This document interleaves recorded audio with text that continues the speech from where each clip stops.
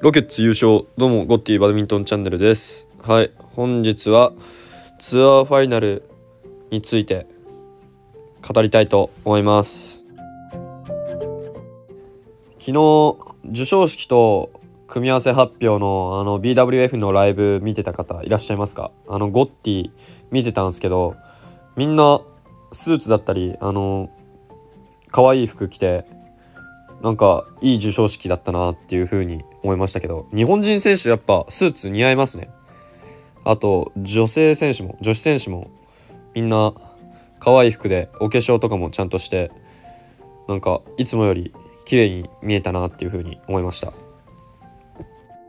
個人的になんですけど奈良岡選手のスーツが一番かっこよかったなって思います。あの奈良岡選手ヘアバンドのイメージがあるんでスーツとか着るところ初めて見たんですけどいやめちゃくちゃ似合ってましたね。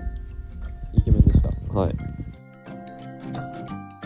まあ、授賞式についてもちょろっと話しますかね、まあ、男子の年間最優秀選手はあの韓国のあの今回世界選手権今年の世界選手権で2冠取ったセオ・スンジェ選手でしたね、まあ、妥当かなと思います。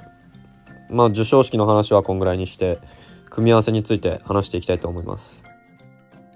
男子シングルスのグループ A やばいですね。奈良岡選手 C ユーチアンソニーアクセルセン。いややばいっすね。これめちゃくちゃきついですね奈良岡選手。あの抽選もなんか新鮮で面白かったですね。奈良岡選手があのアクセルセン来たのを見てうわマジかみたいな反応してるの結構面白かったですね。まあゴッティお得意のあの優勝予想していきたいと思います。えまあ優勝男子シングルス優勝予想はアクセルセンなんですけどまずグループ A の突破から言おうかな。えー、多分1位通過がアクセルセン2位通過 C ユーチかな。で3位がアンソニー4位奈良岡選手かな。いやもうその日本人 B 期せずにあの今回あのその勝敗予想をするのはあの常にガチなんでその1さっき言った123位4位の順でいきたいと思います。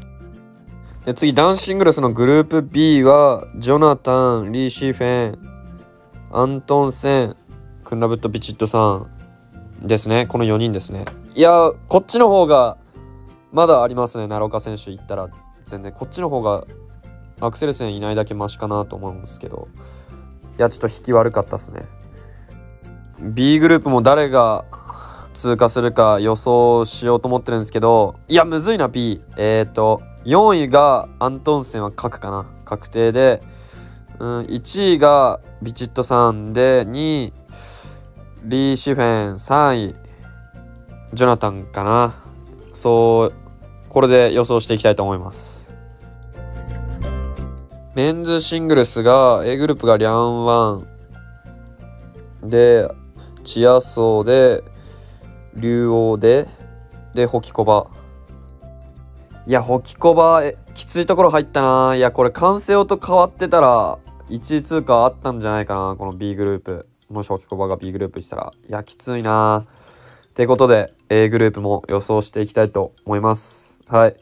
えっ、ー、と1位リャンワンかな。で 2, 2位が竜王3位ホキコバ4位チアソーかな。で B グループがアルフィン・アルディアンとカンセオアストロプラスムーセンとフィクリとバガス。いやこれは1位がカンセオにアルフィン・アルディアンと3位アストロプとラスムーセンかな。で4位がインドネシアペア、えー、フィクリとバガス。で予想してしたいと思いますこれで。で優勝は俺カンセオかな。はい。で最後に今回その俺が注目するところを言いたいんですけどやっぱり奈良岡選手ですね。やっぱ今年世界選手権で2位になってもう絶対フィジカルが足りないっていうのは分かったと思うんででそこでどれだけ鍛えてきたかですよね。どういうプレーするか見ものっすね。